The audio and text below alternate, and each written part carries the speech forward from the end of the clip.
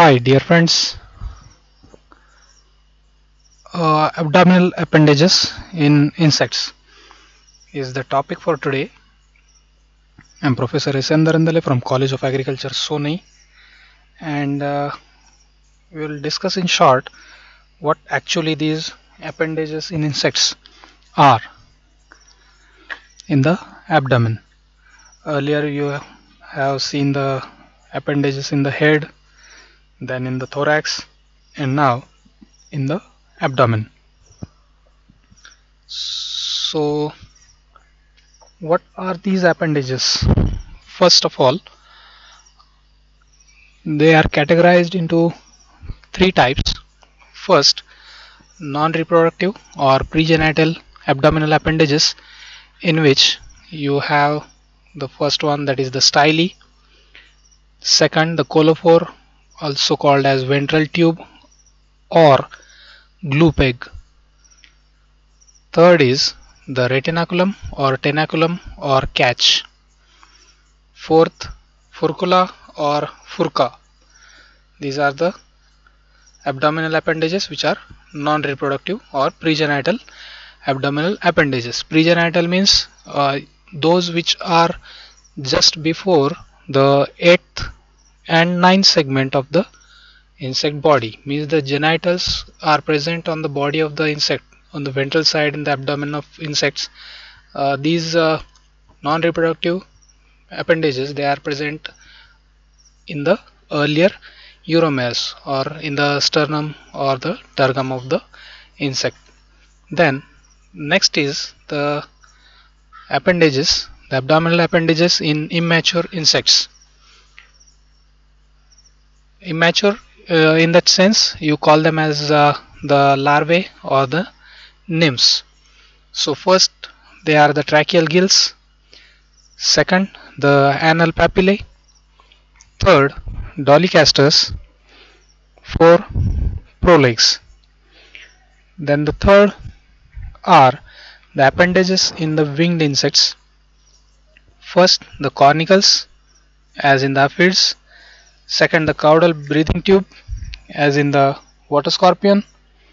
Then cerci they are asymmetrical uh, in the male embids then uh, median caudal filament in the silverfish so one by one we'll uh, have a look into that. The first is non-reproductive or pregenital appendages in the abdomen we'll have a quick uh, names to be revised. Style colophore or ventral tube or glue peg retinaculum or tenaculum or catch. Furcula or furca. This is these names they are just uh, critical so I have taken these names again and again for the revision. So what is style you might have seen in case of silverfish lower side of the body or the beneath the body on the abdominal sternum there are uh, small appendages. They are tube like outgrowths found on the ventral side. These are small tube like outgrowths which are present on the ventral side of the abdomen of the silverfish and they uh, do help in the locomotion in the case of silverfish. Okay they are called as style here you can see the name style okay. Next the colophore or ventral tube or glue peg. And this glue peg or colophore it is present on the first abdominal segment. This these are the three pairs of legs and uh, third pair of legs. And just behind that in the abdominal segment first abdominal segment there is this glue peg or colophore or ventral tube. What the definition or uh, its explanation says it is a fleshy peg like structure found in collembola in the, it is found in collembola on the ventral side of the first abdominal segment. Uh, the function of this is to maintain the homeostasis by regulating absorption of water from the environment. Homeostasis you can have the definition like uh, maintaining its uh, condition uh, in case of the temperature next is the retinaculum or tenaculum or catch. This is uh, used for locomotion. You may say it is uh, used for uh, springing or jumping directly. It is present on the ventral side of the third abdominal segment and useful to hold the springing organ when not in use.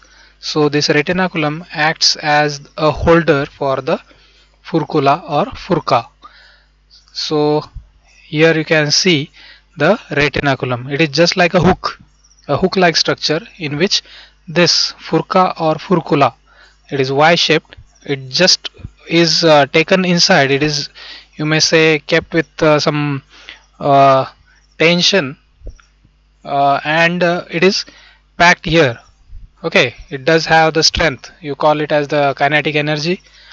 Uh, which will be released after this furcula or uh, this uh, furca is having that potential energy stored by having itself attached or packed in the tenaculum or catch.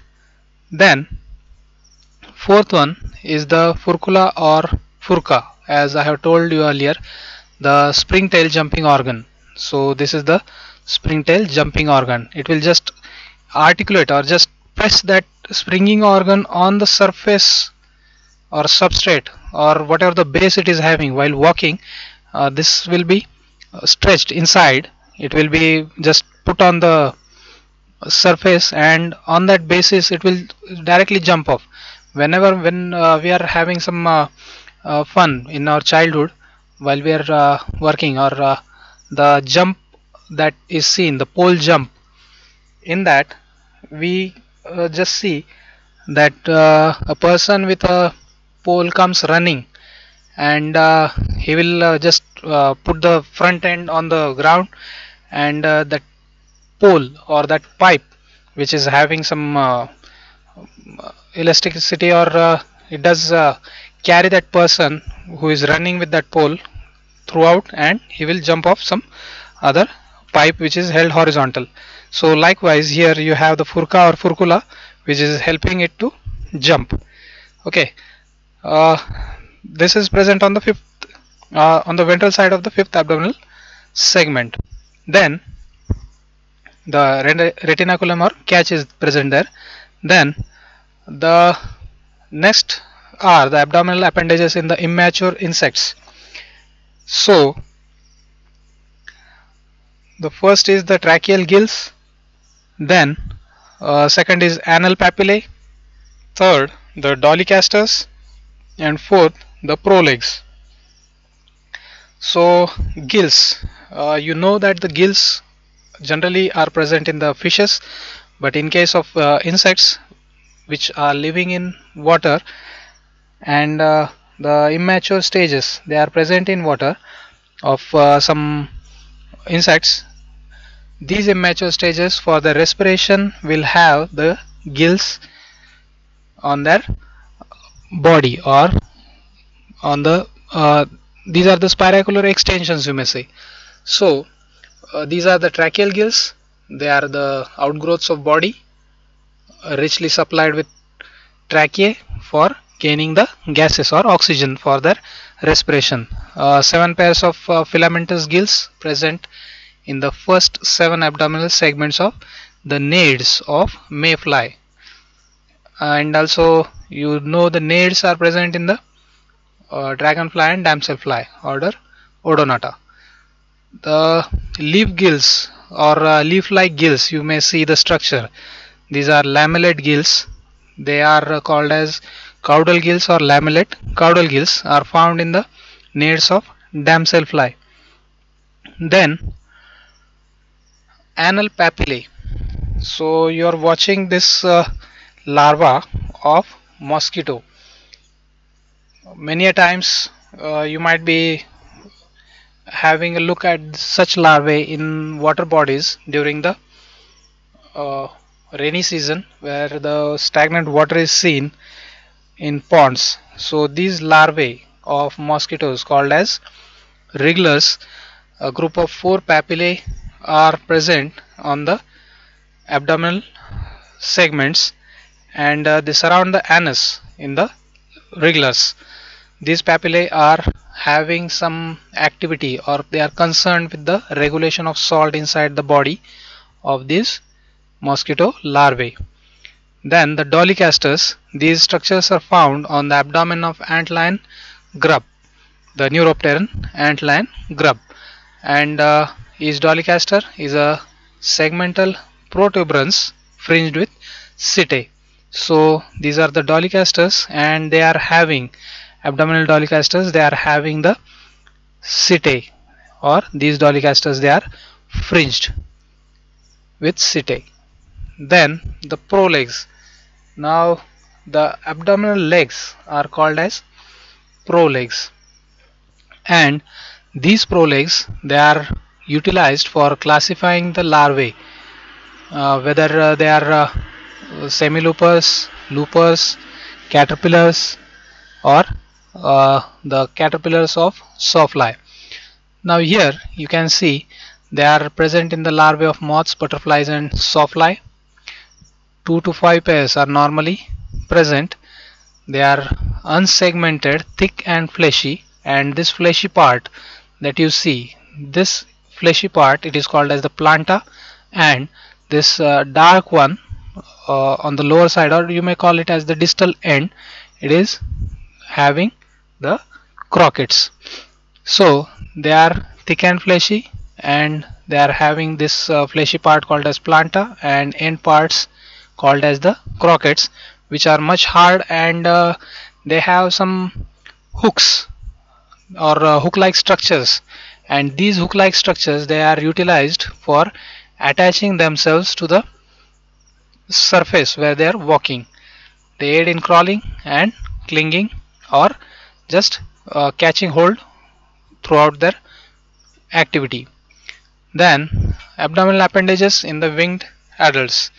So first cornicles in case of aphids, caudal breathing tube in water scorpions, cerci, asymmetrical cerci in male embids, and median caudal filament in the silverfish and pygostyles in scoliid wasp. So first the cornicles. The aphids have a pair of short tubes. These are the short tubes.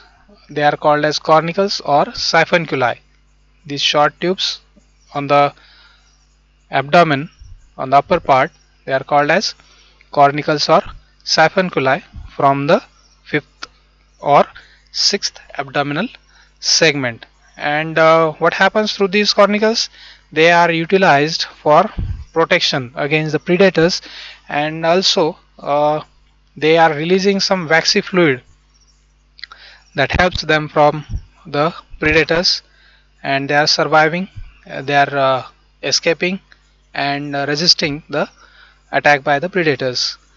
The second the caudal breathing tube it consists of two grooved filaments.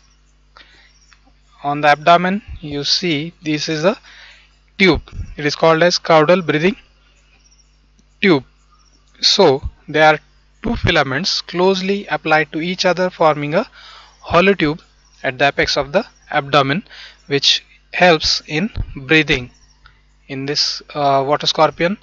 Whenever it comes to the surface it will uh, just breathe out uh, and breathe in the gases.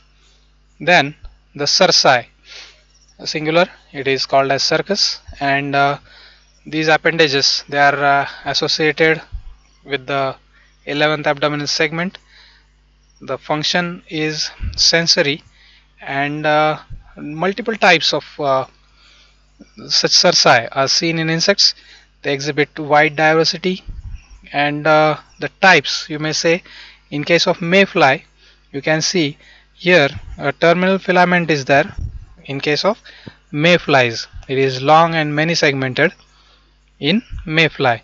Again it is long and unsegmented in case of crickets. Here on the right side you can see this is a cricket and it is unsegmented. This is long cerci in crickets then short and many segmented as in case of cockroach. Here this is the cerci of cockroach. It is many segmented and short one.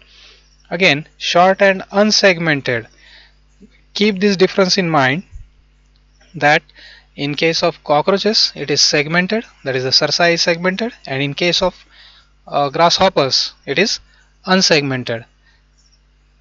Then in case of the uh, other insects like the earwigs.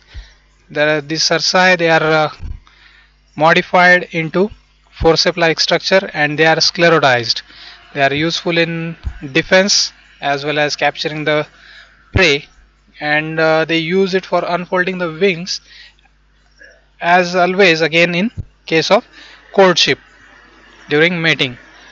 Uh, it is also symmetrical in case of male embids the left cerci or uh, left cercus is longer than the right and functions as clasping organ during the act of copulation means mating in the male and female. Fourth type is the median caudal filament. In case of the mayflies and silverfishes they are the wingless insects. The epiproct is elongated into a cercus like median caudal filament pygostyles here in case of this scoliid wasp a pair of unsegmented cerci like structures are found in the last abdominal segment. These are pygostyles then anal styli or the anal styles uh, generally found in the males in cockroach and useful for holding the female during the act of copulation. The next is ovipositor generally you can say this is the part of females.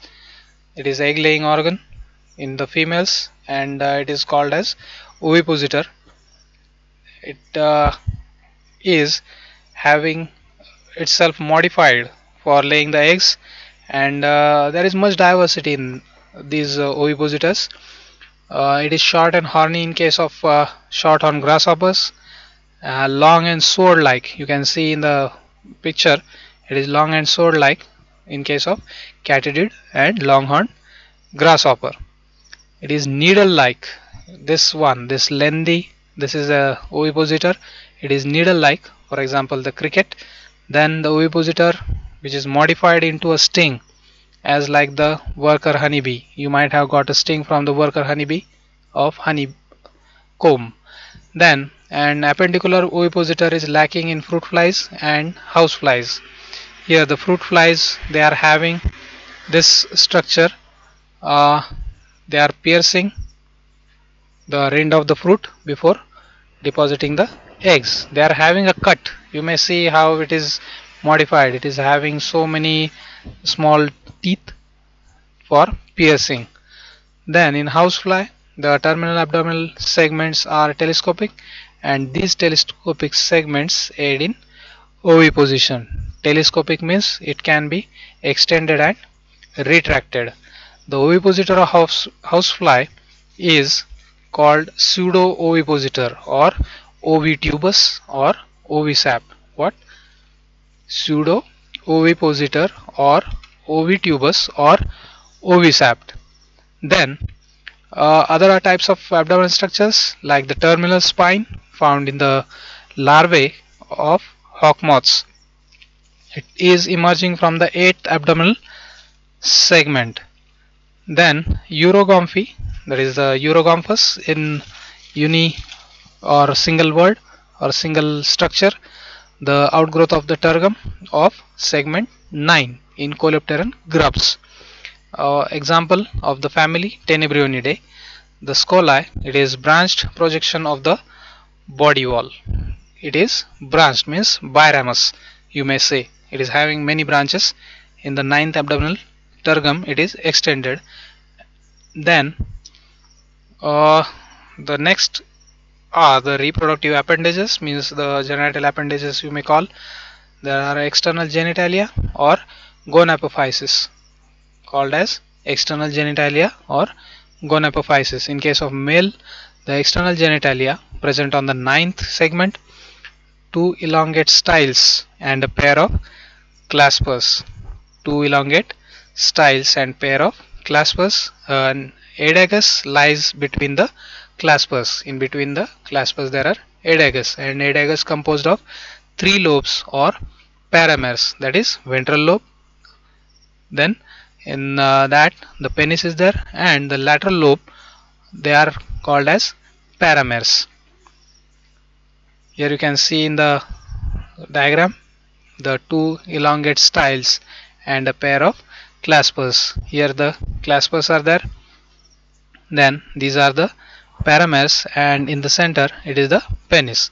The aedeagus lies between the claspers and composed of three lobes that is penis and lateral lobes of the parameres then the female external genitalia. Now the external genitalia of female it uh, having its genitalia located on the 8th and 9th segment in the females.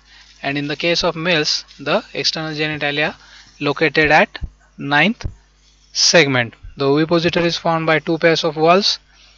And uh, on the you may see here the numbers are given. This is the seventh segment or the uromere 8th uromere 9th and 10th so the sternum of the 8th segment will extend into the ventral wall. Then the 9th uromere will extend as the inner and uh, dorsal wall. In case of sawflies it is having the activity of cutting and piercing. So it is much strong then in case of worker honeybees it forms the poison sting. Always keep this in mind that the worker honeybees they are sterile due to the presence or the excretion or uh, the queen in the honeybee hive is releasing some different chemicals that lead to their uh, being sterile.